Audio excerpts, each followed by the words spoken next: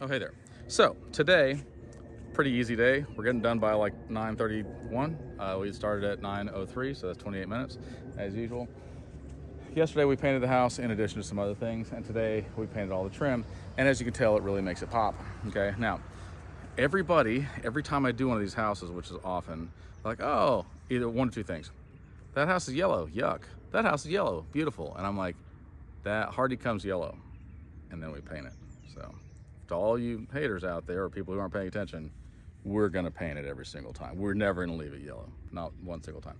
All right, now spray foam was supposed to be here, uh, but they haven't got here yet, but hopefully they will. I've got a show tomorrow with JDRF, so I won't be doing construction, and that I'm sure makes everybody sad. I want to talk to you about the fact that I'm not a good typist, okay? When I was growing up, nobody really cared about computers or typewriters. That was like a job for secretaries or whatever. And and uh, nerds that like played on computers. Now we're not tech savvy, we're tech dependent, and everybody types. But I never really learned it well, right? So like I can hunt and peck my way to, to death, but I'm not like I see these people that do this and they type, and I'm like, mm, mm. if I do that, I'll start off and be like, yeah, man, I got a word. What in the world am I saying? And it kind of bothers me because you know I'm dumb, and I could make excuses. I could be like, I'm a typing dyslexic or make up something, ADHD typey. Um, but this is what I think, okay? And I'm about to get a lot of hatred from a lot of you guys.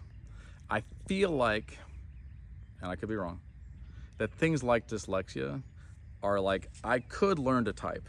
I could. Like, I double cap all the time. You know, like I'll keep my finger on the caps lock too long or whatever. Like I do a lot of things that if I took the time to like, I'm going to train myself to do this right, I would no longer have a speech impediment with my fingers. I would no longer have dyslexia with my fingers.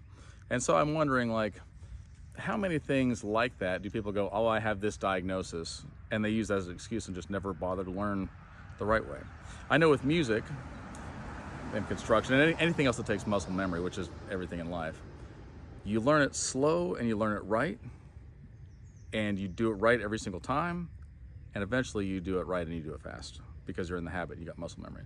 And I think it's that way with other stuff, but then we learn it wrong, and then we like can't, won't unlearn it.